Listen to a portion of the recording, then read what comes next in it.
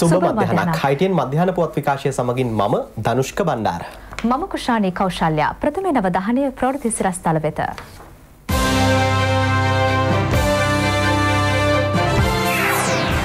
සහරහන්ට සහය වූ බව කියන පාලිමේන්තු සේවකයා ගැන පුළුල් පරීක්ෂණ. වලට රසායනික ද්‍රව්‍ය එක් කරන ජාවාරමක තොරතුරු හෙළිවේ. බීලූුණු ගොවින් ආරක්ෂා කිරීමට ක්‍රියාමාර්ග රැසක්. ප්‍රදේශ රැසකට පස්වරුවේ තද වැසී. ප්‍රස්ථවාදය හා අන්තවාදය වපුරණ ගිනුම් තහනම් කරන බව ෆෙස්බුක් සම පවසයි.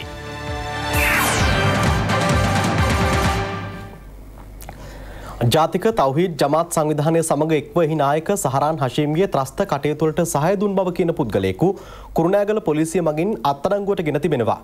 ඔහු පාර්ලිමේන්තුවේ හැන්සාඩ් අංශයේ සේවය කළ මොහොමඩ් නවෂාට් ජලාල්දින් නැමති අයකු බවයි පොලිසිය පවසන්නේ. මීට පෙර අත්තරංගුවට ගත් සැකකරුවන් කිහිප දෙනෙකුගෙන් ලද තොරතුරුවලට අනුවයි මෙම සැකකරු අත්තරංගුවට ගෙන තිබෙන්නේ.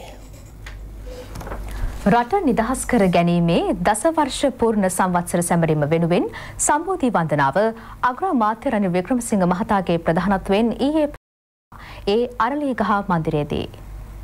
උතුම් සම්බුදු තෙමකුල සැමරීම පාස්කු ඉර්දා ප්‍රහාරයෙන් ජීවිතක්ෂයට පත් වූ සියලු දෙනා සිහිපත් කිරීම සහ තුවාල ලැබූ පිරිසට ඉක්මන් සුවය ප්‍රාර්ථනා කිරීම මෙහි අරමුණ වුණා. ත්‍රිනිකායක මහා සංඝරත්නයේ වැඩමවීමෙන් අර්ලීගහ මන්දිරයේ ජයශ්‍රී මහා බෝධිශාඛා වහන්සේ අභියසදී එය පැවැත්වුණේ.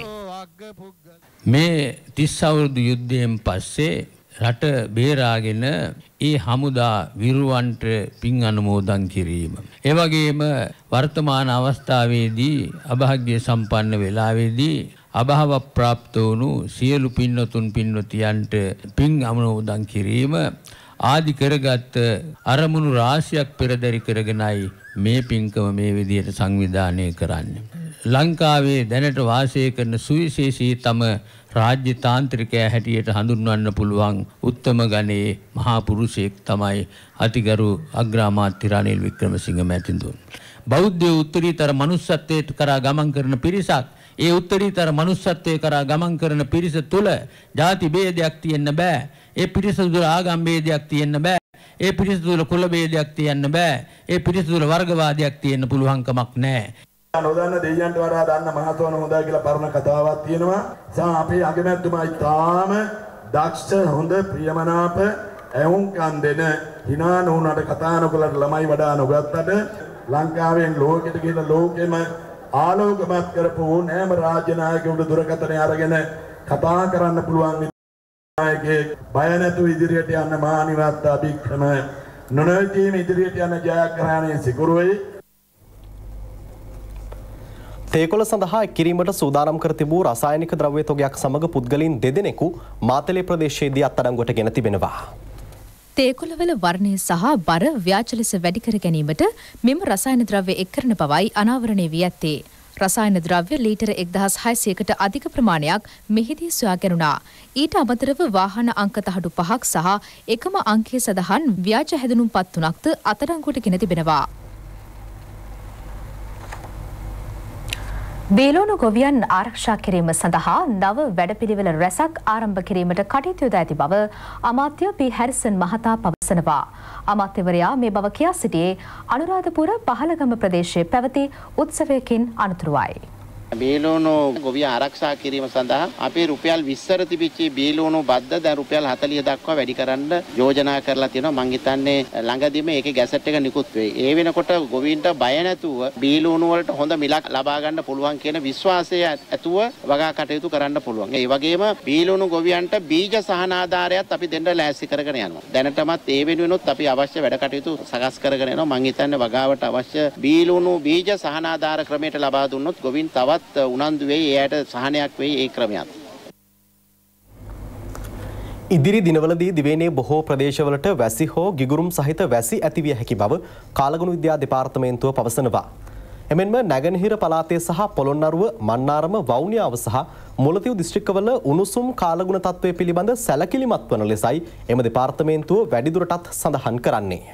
ඉදිරි දිනවලදී දිවයිනේ බොහෝ ප්‍රදේශවල විශේෂයෙන් නිරිද්දික කොටසේ වැසි තත්ත්වයේ තරමක වැඩිවීමක් අපේක්ෂා කරනවා. නිරිද්දික මෝසම් සුළං ප්‍රවාහය මේ වෙන විට සුළු වශයෙන් ආරම්භ වෙලා තියෙනවා. ඒ තත්ත්වයේ තරමක වැඩිවීමක් අපි 22, 23 සහ 24 යන දිනවල බලාපොරොත්තු වෙනවා. ඒ හේතුව නිසා තමයි වැසි තත්ත්වයේ තරමක වැඩිවීමක් අපේක්ෂා කරන්නේ. අද දිනේ වර්ෂාපතනය පිළිබඳ සැලකුවොත් බස්නාහිර සබරගමුව මධ්‍යම සහ වයිඹ පළාත්වලත් ගාල්ල සහ මාතල දිස්ත්‍රික්කවලත් තැනින් තැන වැසි හෝ ගිගුම් සහිත වැසි තමයි බලාපොරොත්තු වෙන්නේ. ඒ වගේම ඌව උතුරු මැද සහ නැගෙනහිර පළාත්වලත් හම්බන්තොට දිස්ත්‍රික්කයේත් සවස් දෙකෙන් පමණ පසුව තැනින් තැන වැසි හෝ ගිගුම් සහිත වැසි බලාපොරොත්තු වෙනවා. ඒ වගේම බස්නාහිර සබරගමුව මධ්‍යම සහ ඌව පළාත්වලත් ගාල්ල සහ මාතල දිස්ත්‍රික්කවලත් ඇතැම් ස්ථානවලට මිලිමීටර් 100ක පමණ තරමක තද වර්ෂාපතනයක් ඇතිවීමේ හැකියාවක් පවතිනවා. දිවයින වටාවන මුහුදු ප්‍රදේශවල කාලගුණ තත්ත්වය පිළිබඳ සැලකුවොත් පුත්තලම සිට කොළඹ සහ ගාල්ලාලා පොතුවිල් දක්වා වන මුහුදු ප්‍රදේශවල තැනින් තැන වැසි හෝ කිගුරුම් සහිත වැසි අපේක්ෂා කරනවා. විශේෂයෙන් කිව යුතුයි හම්බන්තොට සිට පොතුවිල් හරහා මඩකල්පුව දක්වා වන ගැඹුරු සහ නොගැඹුරු මුහුදු ප්‍රදේශ විටින් විට තරමක් රළු වීමේ හැකියාවක් පවතිනවා. දේශ ප්‍රේමීත්වය ගැන බොරුවට කතා කරන කාඩ්බෝඩ් වීරයින්ට නොරැවටන ලෙස අමාත්‍ය සජිත් ප්‍රේමදාස මහතා ජනතාවගෙන් ඉල්ලා සිටිනවා. තිස්ස මහරාම වෙහෙරගොඩැල්ල ප්‍රදේශයේ පැවති උත්සවයකදී අමාත්‍යවරයා මෙම ඉල්ලීම සිදු කළේ. වෙහෙරගොඩැල්ල ඉපැරණි චෛත්‍යයේ කැනීම් හා සංරක්ෂණ කටයුතු අමාත්‍යවරයාගේ ප්‍රධානත්වයෙන් ආරම්භ කෙරුණා. වෙහෙරගොඩැල්ල පුරාවිද්‍යා භූමිය තුළ පිහිට ඇති මෙම චෛත්‍යයේ කැනීම් සිදු කරන්නේ පුරාවිද්‍යා දෙපාර්තමේන්තුවයි. මධ්‍යම සංස්කෘතික අරමුදල පළමු අධීර සඳහා වෙන් කර ඇති මුදල රුපියල් ලක්ෂ එකසිය අටක්. තිස්ස මහරාම රජමහ විහාරස්ථානයේ තීන්ත ආලේප කිරීම සඳහා මූලධාර ලබාතීමද අමාත්‍යවරයා අතින් සිදු කෙරුණා. අපි බුද්ධඝම ආරක්ෂා කිරීම ගැන කයිවාරු ගහන්නේ ප්‍රායෝගිකව අපි සම්බුද්ධ ශාසනය සුරක්ෂා කරන්න ඉමහත් වැඩ කොටසක් කරන සමහරෙක් බලයට තිබෙන කෑදරකම තුළ පුහු ජාතික මාමකත්වයක් නිර්මාණය කරලා නියෝග දෙනවා අර අහවල් ජාතීන්ගේ කඩ ටික ඉවර කරලා දාන්න. මේ කාඩ්බෝඩ් වීරයන්ගේ උත්සාහය වෙලා තිබෙන්නේ රට අවුලලා තියලා ඒ තුලින් අපි කරන්නා වූ ආගමික සංවර්ධන වැඩ කටයුතු අඩපණ කිරීම. ඔය කාඩ්බෝඩ් වීරත්වය රටේම ජනතාවට පරිස්සම් වෙන්නට කාලය විල්ලා තිබෙනවා. රට වෙනුවෙන් දිවිපිදූ රණවිරුවන් සිහිපත් කරමින් දිවයිනේ ප්‍රදේශ රැසකදී පැවැත් වූ සැමරුම් කිහිපයක තොරතුරු දැන්. මනුෂ්‍ය මෙහෙයුමේදී මාතෘ භූමිය වෙනුවෙන් ජීවිත පූජා කර රණවිරුවන් අනුස්මරණය කෙරෙන දසවර්ෂාභිෂේක රණවිරු සැමරුම් උත්සව මාලාවට සමගාමීව යුද හමුදාපති නිල නිවසේදී පළමු පොල්තෙල් පහන ඒකාලෝක කෙරුණේ යුද හමුදාපති ලුතිනන් ජෙනරාල් මහේෂ් සේනානායක මහතාගේ ප්‍රධානත්වයෙන්. යුද හමුදා සේවා වනිතා ඒකකේ සභාපතිනි චන්ද්‍රිකා සේනානායක මහත්මියද ඊට එක් වුණා.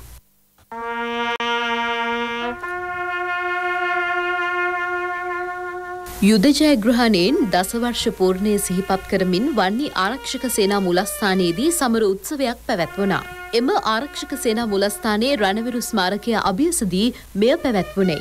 ඒ වන්නේ ආරක්ෂක සේනා ආඥාපති මේජර් ජනරාල් කුමුදු පෙරේරා මහතාගේ ප්‍රධානත්වයෙන්. මානුෂීය මෙහෙයුමේදී දිවිපිදු රණවිරුවන් සිහිපත් කරමින් පුෂ්පෝපහාර දැක්වීමට මෙහිදී කටයුතු කෙරුණා. බදුල්ල දෙමෝදර බෝසමිදුන් අභියසදී විශේෂ පින්කමක් පැවැත්වුණේ දෙමෝදර ශ්‍රී ශෛලතලාරාම විහාරස්ථානය බෝසවන ත්‍රිරෝධරත සංගමය වෙළඳ ප්‍රජාව හා තරුණ කැලගේ සංවිධානයෙන්. බෝසමිදුන් වෙත කපරුක් පූජාවක්ද මෙහිදී සිදු කෙරුණා. බදුල්ල යුද හමුදා කඳවුරේ නිලධාරීන් සහ ඇල්ල පොලිස්ථානයේ නිලධාරීන්ද මෙම අවස්ථාවට සහභාගි වුණා. පින්කමෙන් අනතුරුව බෙලිමල් දන්සැලක්ද පැවැත්වුණේ සියලු දෙනාගේ සහභාගිත්වයෙන්.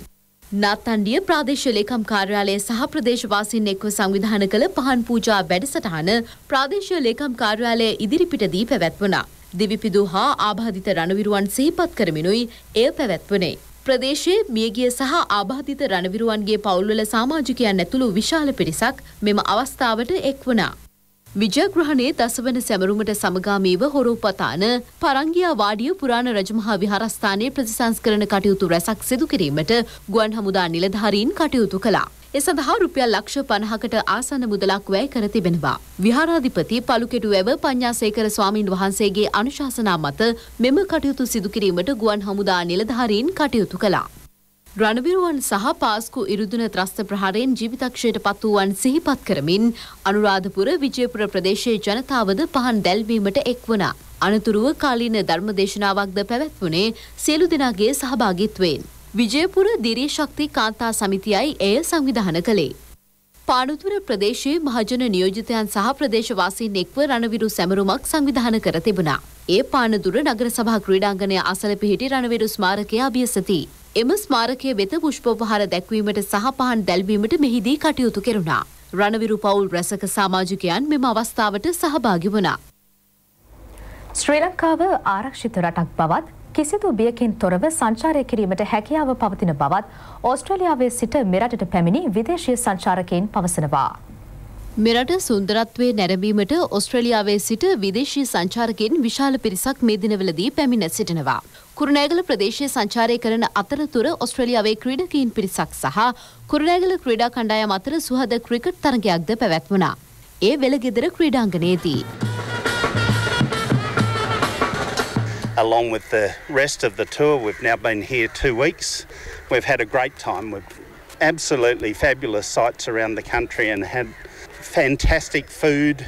Uh, and uh, we would recommend anybody who's looking for a tour destination that Sri Lanka is, uh, is an excellent place to visit. Our wives have enjoyed the hospitality, the friendship, and have uh, at all times felt very safe. You have a beautiful country, you have beautiful people. Here in Sri Lanka, we were uh, a bit concerned about what the uh, security would be after the event. Everyone's really friendly, and the cricket's been good, good competitive cricket, We've, and uh, thoroughly enjoying it so far. It's been terrific. මේ අතර සීගිරිය නැරඹීමට දෙස් විදෙස් සංචාරකින් අති විශාල පිරිසක් මේ දිනවල පැමිණෙන බව වාර්තා වනවා. ඊයේ දිනේ තුල පමණක් සංචාරකින් දසදහසකට අධික පිරිසක් සීගිරිය නැරඹූ බවයි වාර්තා වන්නේ. මැයි දහට දහනවය විස්්‍යයන දිනවල සීකිරිය නොමිලේ නැරඹීමට අවස්ථාව උදාකරදීමට මධ්‍යම සංස්කෘතික අරමුදල තීරණය කළා. එ අනුව දෙස්විදෙ සංචාරකයෙන් රැසක් සීගිරිය නැරඹීමට පැමිණියා. ඒ හේතුවෙන් සීගිරිගල මුදුනෙහි දැඩි තදබදයක්ද දක්නට ලැබුණා. සීගිරිය නොමිලේ නැරඹීමට ලැබෙන අවස්ථාව අදින් අවසන් වනවා. සීගිරිය කෞතුකාගාරයේ නැරඹීමටද විශාල පිරිසක් එක්ව සිටියා. ඉපරණි කසු ප්‍රජදවස සීගිරිය පැවැති ආකාරය තාක්ෂණික සජීවීකරන ත්‍රිමාණ රූපරාමු හරහා දැකබලා ගැනීමට දෙස්විද සංචාරකයින්ට මෙහිදී අවස්ථාව උදා කර තිබෙනවා. මධ්‍යම සංස්කෘතික අරමුදලේ සීගිරි ව්‍යාපෘති කළමනාකරු මේජ අනුර නිශාන්ත මහතා පැවසුවේ සීගිරිය නැරඹීමට පැමිණෙන සංචාරකයින්ට මෙය නවමු අත්දැකීමක් බවයි. මොකද හිතන්නේ? මේ වගේ සෙටප්ස් 10ක් විතර ගන්නවා. දාලා එන ෆොරනර්ස්ලටයි ගෙස්ලටයි ඉන්ට්‍රොඩියුස් කරනවා. මෙහෙම හඳුන්වා දෙන්න උත්සාහ කළේ මොකද මොන හේතුව නිසා? ඒ කියන්නේ දැන් සීගිරේ බලන්න එන කට්ටියට ඩවුට් එකක් තියෙනවා සීගිරේ කොයි වගේ තිබ්බේ කියලා. අන්න ඒකට සොලියුෂන් එකක් විදිහට මේක කරන්නේ. තවත් මේක බලන සමහරක් අය ගොඩක් අය පෙළඹෙනවා සීගිරේ ගිහිල්ලා බලන්න. ඒ කියන්නේ සීගිරේ ප්‍රොමෝට් කරනවා වගේ දෙයකට මේක පාවිච්චි කරන්න. ඒක සාමාන්‍ය එක්කෙනෙකුට නරඹන්න විනාඩි 10ක 15ක කාලයක් යනවා. පැමිණෙන අයට අපි අවස්ථාවක් සලසලා දෙලා තියෙනවා ඒක නැරඹීමට. ඉස්සරහට බලාපොරොත්තු වෙනවා මම අපේ කෞතුකාගාරයේ පරිශ්‍රයේදී ඒ ලැබෙන ප්‍රතිචාරත් එක්ක අපි ඒක ස්ථාපනය කිරීමට. මේ අතර සීගිරිය නැරඹීමට පැමිණෙන සියලු දෙනාටම ඉදිරියේදී දැඩි ආරක්ෂාවක් සලසා ඇති බවයි නිවාස ඉදිකිරීම් හා සංස්කෘතික කටයුතු අමාත්‍යංශයේ ලේකම් බර්නාඩ් වසන්තද සිල්වා මහතා ප්‍රකාශ කළේ. අපිත් එක්ක ත්‍රිවිධ හමුදාවම මේ වැඩපිළිවෙලට එක් වෙලා ඉන්නවා. ශ්‍රී ලංකා නාවික හමුදාව යුද්ධ හමුදාව ඒ වගේම බෝම්බ නිෂ්ක්‍රීය අංශය ශ්‍රී ලංකා පොලිසිය ගුවන් හමුදාව ඒ සියලුම විරෝධාර ආරක්ෂක හමුදාවන් වල සහාය ඇතිව තමයි අපි මේ ක්‍රියාදාමය ක්‍රියාත්මක කරන්නේ. එක්සත් ජාතීන්ගේ සංවිධානය මෙවරද වෙසක් උත්සවය නිමිත්තෙන් හන් රැසක් පවත්වනු ලැබවා. ඒ නිවියෝක් නුවර පිහිටි එක්සත් ජාතින්ගේ මුලස්ථානය කේන්ද්‍ර කර ගනිමින්. එක්සත් ජාතීන්ගේ සංවිධානය නිල වශයෙන් ජාත්‍යන්තර වෙසක් දිනය ආරම්භ කළේ එක්දහස් නවසය අනු නවය වසරේදී. නිවියෝක්හි පැවති වෙසක් සැමරුමට රාජතාන්ත්‍රිකයින් රැසක් එක්ව සිටියා. වෙසක් බැතිගී වෙසක් සැරසිලි ආදී අංගවලින් ජාත්‍යන්තර වෙසක් දිනය වර්ණවත් වී තිබුණා. වෙසක් පොහොය වෙනුවෙන් ආගමික මෙන්ම දන්සල් ඇතුළු විවිධ වැඩසටහන් තවදුරටත් පැවැත්වෙනවා. පානදුර අලුබෝමුල්ල ඌරකඩුව තරුණ බෞද්ධ සමිතිය සංවිධාන කළ බද්දන්සල ඌරකඩුව ප්‍රදේශයේදී පැවැත්වනා. විශාල පිරිසක් බද්දන්සලට එක්ව සිටියා. වේයන්ගොඩ කුරීකොටුව රන්තරු ක්‍රීඩා සංවිධාන කළ බද්දන්සල පැවැත්වුණේ කුරීකොටුව රන්තරු ක්‍රීඩා පිටියේදී. පූජ්‍ය කුරීකොටුව ධම්මානන්ද ස්වාමින් වහන්සේ ආගමික වතාවත් සිදු කිරීමෙන් අනතුරුව දන්සල ආරම්භ කෙරුණා. ප්‍රදේශවාසීන්ගේ සහයෝගය ඇතිව මෙය සංවිධාන කෙරුණේ හය වන වරටයි. රත්නපුර වැලිගෙපොළ කීරපත් දෙනිය ශ්‍රී විජයාරාම විහාරස්ථානයේදී ඉදිකෙරුණු දහටරියන් බුද්ධ ප්‍රතිමා වහන්සේ සැදැහැවතුන්ගේ වන්දනාමාන සඳහා විවෘත කෙරුණා. බුදුන් වහන්සේගේ පිරිනිවන් මංචකය මෙමගින් නිරූපණය කෙරෙනවා. මෙම බුදුපිළිම වහන්සේ දැකබලාගෙන වන්දනාමාන කිරීමට සැදැහැවතුන් අති විශාල ප්‍රමාණයක් එක්ව සිටියා. එම ප්‍රතිමා වහන්සේ නිර්මාණය කිරීමට වසර හතරකට අධික කාලයක් වැය වී ඇති බවයි විහාරාධිපති හිමියන් සඳහන් කරන්නේ. විදේශ රටවලදීද සම්බුදු තෙමගුල ඉහලින් සමරන අවස්ථා දැකගත හැකි වුණා. විදේශිකයන්ද ඊට එක් වූ බවයි ඔස්ට්‍රේලියාවේ සිට ඒ පිළිබඳ තොරතුරු ගෙනේන ආසිරි බණ්ඩාර ප්‍රකාශ කළේ.